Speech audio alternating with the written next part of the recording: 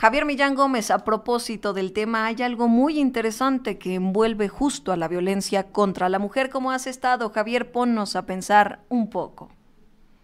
Hola, ¿qué tal, Melissa? Muy buenas tardes. Pues, eh, pues ahora precisamente a propósito del suceso del que nos comentas, y que la semana pasada fue el Día Internacional del Hombre, eh, por cierto vimos ahí un montón de, publicaciones, tanto de eh, grupos feministas como de hombres, no desde comentarios muy superficiales, aplaudiendo que los hombres también tenemos que ser festejados, hasta las feministas diciendo que pues hay este es un, es una fecha muy absurda, ¿no? El Día Internacional del Hombre, porque pues somos los que tenemos desventaja. Pero bueno, pues más allá de todo eso, que, que, que bueno que este fue incluso un tema que me propusiste comentar tú y además porque ha sido eh, un tema en el cual he estado trabajando desde unos tres o cuatro años y incluso la tesis de maestría está asociada mucho a las cuestiones de género. Vamos a hablar de la masculinidad trans. Bueno, particularmente eh, el hombre tiene un vínculo, una conexión directa con el control. Para el ejercicio de la masculinidad, el control es importante. Entonces, cuando el hombre pierde el control, se pierde el sentido de ese dominio pues le quitan la masculinidad y por lo tanto, bueno, pues pierde toda este eh, todo rumbo que puede tener de vida eh, todo todo el hombre como tal. Eh, aunado a esto, por ejemplo, hay muchos estudios incluso psicológicos. Una, eh, un concepto importante es el concepto de Sigmund Freud, que se llama el complejo de castración, en donde se da en en características muy particulares en ambos sexos, tanto el hombre que tiene esta pérdida, al, eh, tiene este temor a la pérdida del palo, y la mujer que en algún punto de la crianza, que este, menciona Freud, en algún punto de la crianza este, eh, la, la, mujer se da cuenta que algo le falta, algo tiene el hombre y a la mujer algo le falta, y eso desarrolla un, un, un complejo de inferioridad, ¿no? Entonces, bueno, obviamente son estudios realizados hace, hace eh, décadas, ¿no? Entonces, eh, pues esto para los estudios de género, incluso para algunas feministas generan un malestar, porque lo están diciendo, o con los estudios psicológicos, apuntan a que eh, el complejo de castración habla que las mujeres son inferiores por naturaleza, se sienten inferiores por naturaleza. Bueno, pero el, incluso a que eh, yo hago la invitación a todas las mujeres que tienen esto por cosas, no solamente la vida de los demás, los aspectos incluso su trabajo, si por su propia vida, pues la masculinidad en ellos no tiene ningún propósito. Y otra cosa importante, algunos dirán, bueno, ¿cómo es que eh, desde mi sexo y mi género, pues yo estoy hablando de esta clase de, de, temas?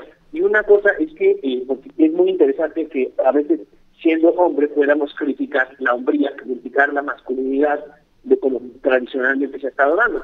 Y bueno, también hacerle la invitación a todas las personas que nos están escuchando, que no solamente se trata de defender lo que es igual a nosotros, también a criticar eh, los grupos o las ideas a las cuales nosotros pertenecemos y con las que nosotros hemos sido criados. Y que hay algo bien interesante, Javier, a propósito de lo que mencionas, y lo digo con toda la delicadeza posible que cuando pensamos, me parece, y tú lo dirás mejor, en estas relaciones de poder, que al final, eh, pues el poder es control, siempre digo que pensemos quién nos ha controlado a nosotros de esta manera, que necesitamos ejercer ese control hacia alguien más, ¿no te parece, Javier? Fíjate que eso es, es, interesante porque también habla de, la manera en la que se ha constituido la educación y, la manera en la que también alguien eh, ejerce el control por nosotros y nosotros buscamos controlar algún aspecto de nuestra vida. Sobre todo, sabes que, Javier, a propósito de, que lo dices, eh, perdón que te interrumpa, que por ejemplo, los hombres que nos están escuchando, eh, me gustaría que pensaran eh, en, serio, ¿a quién, qué necesidad quieren satisfacer. Por ejemplo, algo tan común que es, no vas a beber conmigo porque eh, te pega eh, tu esposa, porque te regaña tu mamá. Y lo digo como expresiones coloquiales, que pensemos eh, por qué tenemos que complacer este dominio, por ejemplo, con base en ese, en esa, pues en ese terreno de paridad que hay entre hombres, digámoslo así, pero ¿por qué no? O sea, ¿por qué, por qué es más eh, de, o sea, deleznable que eh, una mujer ejerza ese poder sobre ti? Ahí me parece que radica en masculinidad. ¿Por qué creemos que ser menos hombre, menos está mal? También sabes la cantidad de hombres heterosexuales con los que he podido convivir que dicen, híjole, este, yo te admiro tanto, le dicen a otro hombre, que si no fueras hombre, yo te besaba, ¿no? Por decirlo menos. Entonces, cuando dicen eso, yo les digo, bueno, fíjate lo que estás diciendo, el único impedimento para poder consumar tu deseo es que esa, ese hombre que admira, pues sea hombre, aunque el deseo de besarlo lo tienes.